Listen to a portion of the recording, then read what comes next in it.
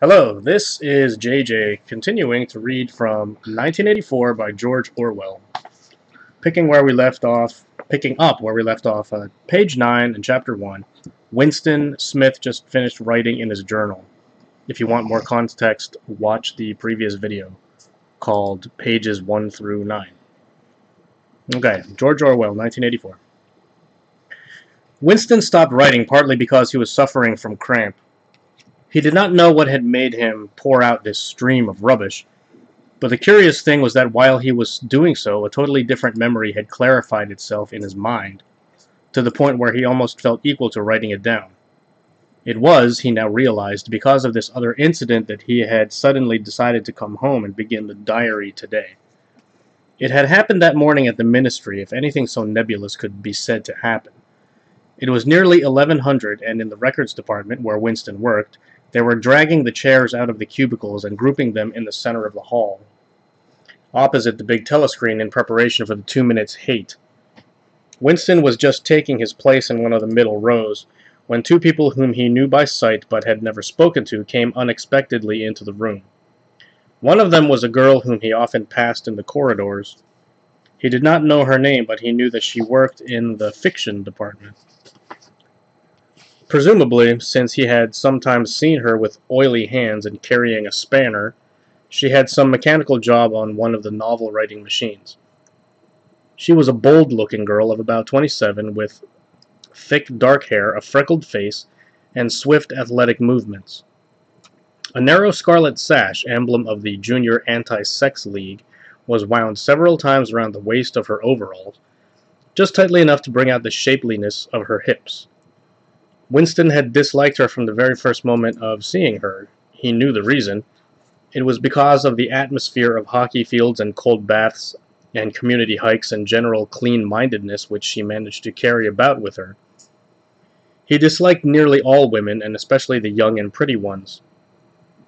It was always the women, and above all the young ones, who were the most bigoted adherents of the party the swallowers of slogans, the amateur spies and nosers out of unorthodoxy. But this particular girl gave him the impression of being more dangerous than most. Once, when they passed in the corridor, she had given him a quick, sidelong glance which seemed to pierce right into him, and for a moment had filled him with black terror. The idea had even crossed his mind that she might be an agent of the thought police. That it was true was very unlikely. Still, he continued to feel a peculiar uneasiness which had fear mixed up in it as well as hostility whenever she was anywhere near him. The other person was a man named O'Brien, a member of the inner party and holder of some post so important and remote that Winston had only a dim idea of its nature. A momentary hush passed over the group of people round the chairs as they saw the black overalls of an inner party member approaching. O'Brien, was a large, burly man with a thick neck and a coarse, humorous, brutal face. In spite of his formidable appearance, he had a certain charm of manner. He had a trick of resetting his spectacles on his nose, which was curiously disarming. In some indefinable way, curiously civilized. It was a gesture which, if anyone had still thought in such terms, might have recalled an 18th century nobleman offering his snuff box. Winston had seen O'Brien perhaps a dozen times in almost as many years. He felt deeply drawn to him, and not solely because he was intrigued by the contrast between O'Brien's urbane manner and his prize-fighter's physique. Much more it was because of a secretly held belief, or perhaps not even a belief, merely a hope, that O'Brien's political orthodoxy was not perfect. Something in his face suggested it irresistibly. And again, perhaps it was not even unorthodoxy that was written in his face, but simply intelligence. But at any rate, he had the appearance of being a person that you could talk to if somehow you could cheat the telescreen and get him alone. Winston had never made the smallest effort to verify this guess. Indeed, there was no way of doing so. At this moment, O'Brien glanced at his wristwatch, saw that it was nearly 1100, and evidently decided to stay in the records department until the two minutes hate was over. He took a chair in the same row as Winston, a couple of places away. A small, sandy-haired woman who worked in the next cubicle to Winston was between them. The girl with dark hair was sitting immediately behind. The next moment, a hideous grinding screech, as of some monstrous machine running without oil, burst from the big telescreen at the end of the room. It was a noise that set one's teeth on edge and bristled the hair at the back of one's neck. The hate had started. As usual, the face of Emmanuel Goldstein, the enemy of the people, had flashed onto the screen. There were hisses here and there among the audience. The little sandy-haired woman gave a squeak of mingled fear and disgust. Goldstein was the renegade and backslider who once, long ago, how long ago nobody quite remembered, had been one of the leading figures of the party, almost on a level with Big Brother himself. And then had engaged in counter-revolutionary activities, had been condemned to death, and had mysteriously escaped and disappeared. The program of the Two Minutes Hate varied from day to day, but there was none in which Goldstein was not the principal figure. He was the primal traitor, the earliest defiler of the party's purity. All subsequent crimes against the party, all treacheries, acts of sabotage, heresies, deviations, sprang directly out of his teaching. Somewhere or other he was still alive and hatching his conspiracies. Perhaps somewhere beyond the sea, under the protection of his foreign paymasters, perhaps even, so it was occasionally rumored, in some hiding place in Oceania itself. Winston's diaphragm was constricted. He could never see the face of Goldstein without a painful mixture of emotions. It was a lean Jewish face with a great fuzzle aureole of white hair, and a small goatee beard, a clever face, and yet somehow inherently despicable, with a kind of senile silliness in the long thin nose, near the end of which a pair of spectacles was perched. It resembled the face of a sheep, and the voice too had a sheep-like quality. Goldstein was delivering his usual venomous attack upon the doctrines of the party, an attack so exaggerated and perverse that a child should have been able to see through it, and yet just plausible enough to fill one with an alarmed feeling that other people, less level-headed than oneself, might be taken in by it. He was abusing Big Brother. He was denouncing the dictatorship of the party. He was demanding the immediate conclusion of peace with Eurasia. He was advocating freedom of speech, freedom of the press, freedom of assembly, freedom of thought. He was crying hysterically that the revolution had been betrayed. And all this in rapid polysyllabic speech, which was a sort of parody of the habitual style of the orators of the party and even contained newspeak words more, more Newspeak words indeed than any party member would normally use in real life. And all the while, lest one should be in any doubt as to the reality which Goldstein's specious claptrap covered, behind his head on the telescreen there marched the endless columns of the Eurasian army, row after row of solid-looking men with expressionless Asiatic faces, who swam up to the surface of the screen and vanished to be replaced by others exactly similar. The dull, rhythmic tramp of the soldier's boots formed the background to Goldstein's bleating voice. Before the hate had proceeded for 30 seconds, uncontrollable exclamations of rage were breaking out from half the people in the room. The self-satisfied sheep-like face on the screen and the terrifying power of the Eurasian army behind it were too much to be borne. Besides, the sight or even the thought of Goldstein produced fear and anger automatically. He was an object of hatred more constant than either Eurasia or Eastasia, since when Oceania was at war with one of these powers, it was generally at peace with the other. But what was strange was that although Goldstein was hated and despised by everybody, although every day and a thousand times a day, on platforms on the telescreen, in newspapers, in books, his theories were refuted, smashed, ridiculed, held up to the general gaze for the pitiful rubbish that they were, in spite of all this, his influence never seemed to grow less. Always there were fresh dupes waiting to be seduced by him. A day never passed when spies and saboteurs acting under his directions were not unmasked by the thought police. He was the commander of a vast shadowy army, an underground network of conspirators dedicated to the overthrow of the state. The Brotherhood, its name was supposed to be. There were also whispered stories of a terrible book, a compendium of all the heresies of which Goldstein was the author and which circulated clandestinely here and there. It was a book without a title. People referred to it, if at all, simply as the book. But one knew of such things only through vague rumors. Neither the Brotherhood nor the book was a subject that any ordinary party member would mention if there was a way of avoiding it. In its second minute, the hate rose to a frenzy. People were leaping up and down in their places and shouting at the tops of their voices in an effort to drown the maddening, bleating voice that came from the screen. The little sandy haired woman had turned bright pink, and her mouth was opening and shutting like that of a landed fish. Even O'Brien's heavy face was flushed. He was sitting very straight in his chair, his powerful chest swelling and quivering as though he were standing up to the assault of a wave. The dark haired girl behind Winston had begun crying out, Swine, swine, swine, and suddenly she picked up a heavy Newspeak dictionary and flung it at the screen. It struck Goldstein's nose and bounced off. The voice continued inexorably. In a lucid moment, Winston found that he was shouting with the others and kicking his heel violently against the rung of his chair. The horrible thing about the two minutes hate was not that one was obliged to act a part, but that it was impossible to avoid joining in.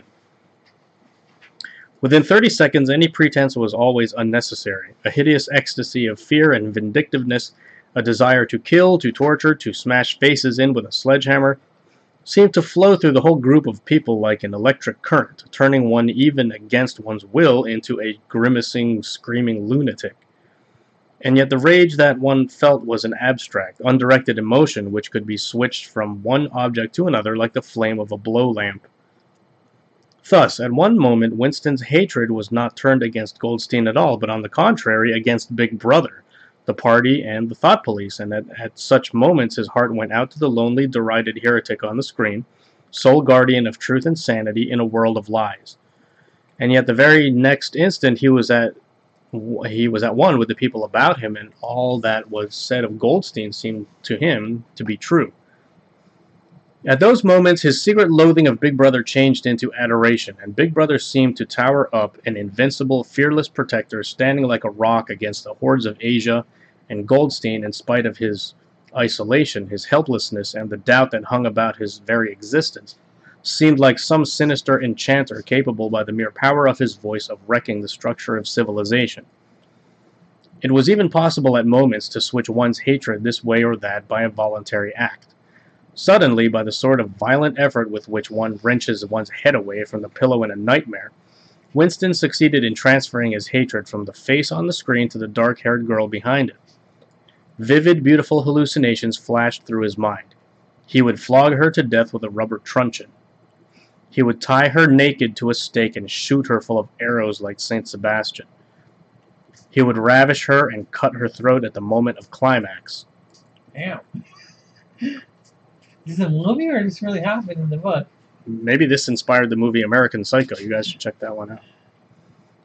Better than before, moreover, he realized why it was that he hated her. He hated her because she was young and pretty and sexless, because he wanted to go to bed with her and would never do so because round her sweet, supple waist, which seemed to ask you to encircle it with your arm, was only the odious scarlet sash aggressive symbol of chastity. The hate rose to its climax. The voice of Goldstein had become an actual sheep's bleat, and for an instant the face changed into that of a sheep. Then the sheep face melted into the figure of a Eurasian soldier who seemed to be advancing, huge and terrible, his submachine gun roaring and seeming to spring out of the surface of the screen, so that some of the people in the front row actually flinched backwards in their seats. But in the same moment, drawing a deep sigh of relief from everybody, the hostile figure melted into the face of Big Brother, black-haired, black-mustachioed, full of power and mysterious calm, and so vast that it almost filled up the screen. Nobody heard what Big Brother was saying, it was merely a few words of encouragement, the sort of words that are uttered in the din of battle, not distinguishable individually, but restoring confidence by the fact of being spoken. Then the face of Big Brother faded away again, and instead the three slogans of the party stood out in bold capitals. War is peace, freedom is slavery, ignorance is strength.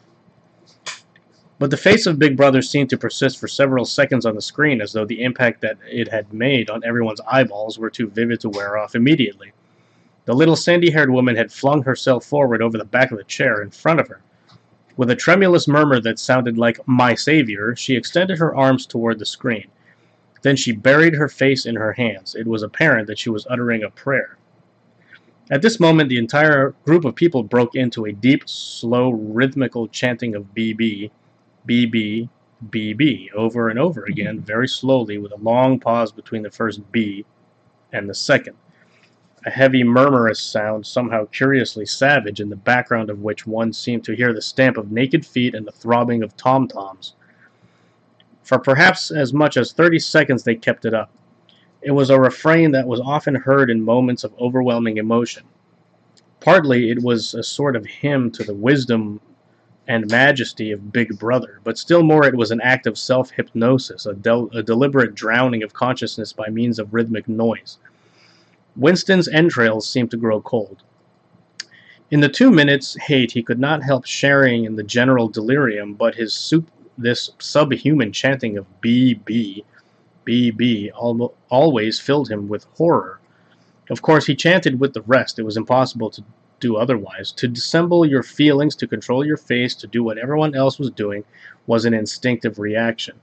But there was a space of a couple of seconds during which the expression in his eyes might conceivably have betrayed him. And it was exactly at this moment that the significant thing happened, if indeed it did happen. Momentarily he caught O'Brien's eye. O'Brien had stood up, he had taken off his spectacles, and was in the act of resettling them on his nose with his characteristic gesture. But there was a fraction of a second when the eyes met, and for as long as it took to happen, Winston knew, yes, he knew, that O'Brien was thinking the same thing as himself. An unmistakable message had passed. It was through their two minds that ha- had opened. It was though their two minds had opened and thoughts were flowing from one into the other through their eyes. I am with you, O'Brien seemed to be saying to him. I know precisely what you are feeling. I know all about your contempt, your hatred, your disgust, but don't worry, I am on your side. And then the flash of intelligence was gone, and O'Brien's face was as inscrutable as anybody else's. That was all, and he was already uncertain whether it had happened. Such incidents never had any sequel. All that they did was to keep alive in him the belief or hope that others besides himself were the enemies of the party. Perhaps the rumors of vast underground conspiracies were true after all. Perhaps the Brotherhood really existed. It was impossible, in spite of the endless arrests and confessions and executions, to be sure that the Brotherhood was not simply a myth. Some days he believed in it, some days not. There was no evidence, only fleeting glimpses that might mean anything or nothing. Snatches of overheard conversation, faint scribbles on lavatory walls, once even, when two strangers met, a small movement of the hands which had looked as though it might be a signal of recognition. It was all guesswork. Very likely he had imagined everything. He had gone back to his cubicle without looking at O'Brien again. The idea of following up their momentary contact hardly crossed his mind. It would have been inconceivably dangerous even if he had known how to set about doing it. For a second, two seconds, they had exchanged in an equivocal glance, and that was the end of the story. But even that was a memorable event in the locked loneliness in which one had to live.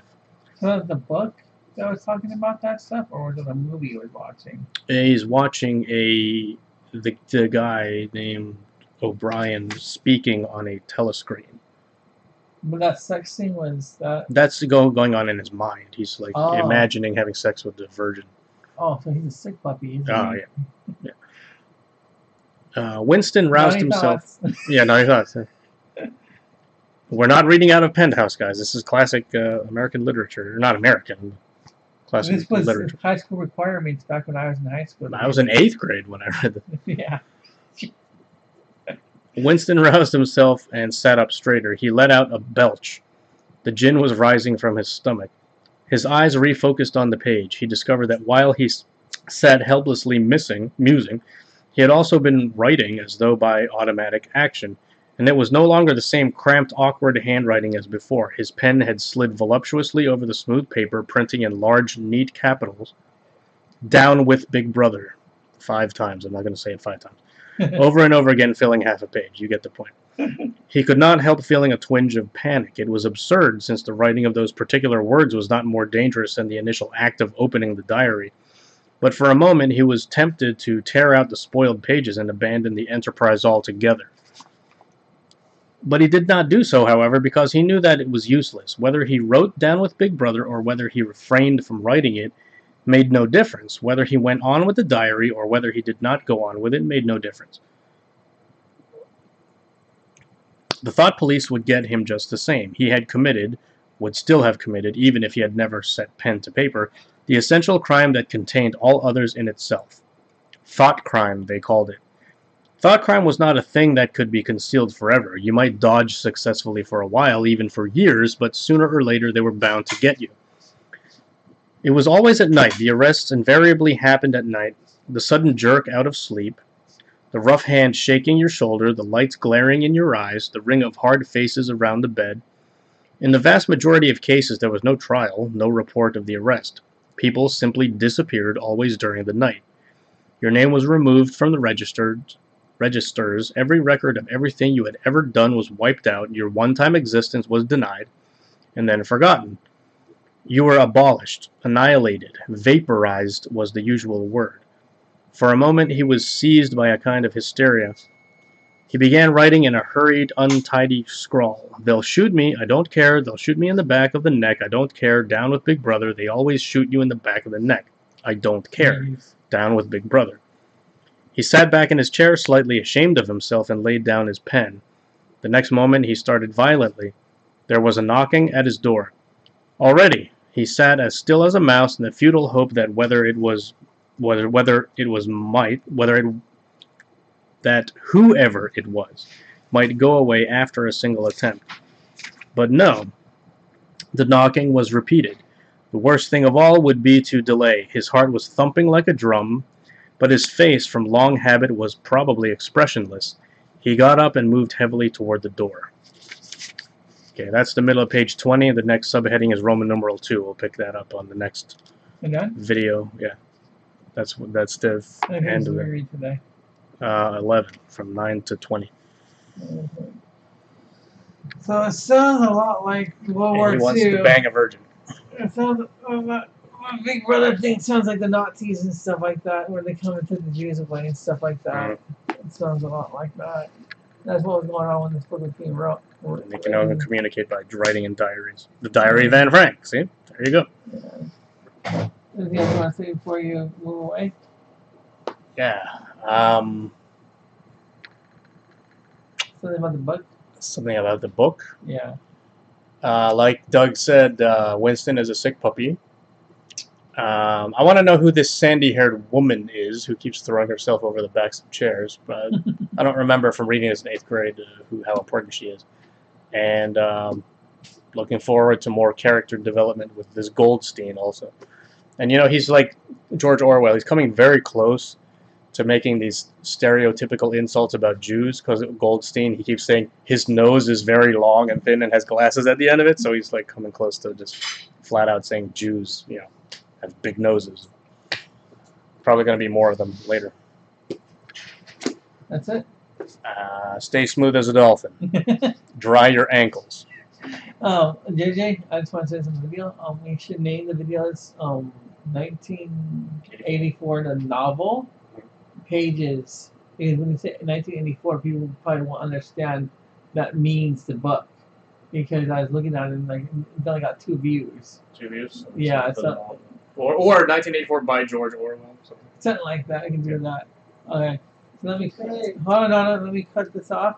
Okay, everybody, that was our story time. Um, we will probably pick up. Are we doing this every day? Or are we doing this a couple times a day? Or are we just doing it whenever? I can do a ton tomorrow. Time tomorrow. Yeah, Okay. All right, thank you everybody for listening. Um, and also, this is the new uh, talents for World of Warcraft. Um, I've gone over a couple of characters I'm working on. Um, this is what I choose, and I um, thought that might be useful for other people. And um, enjoy your um, time. Thank you. Bye.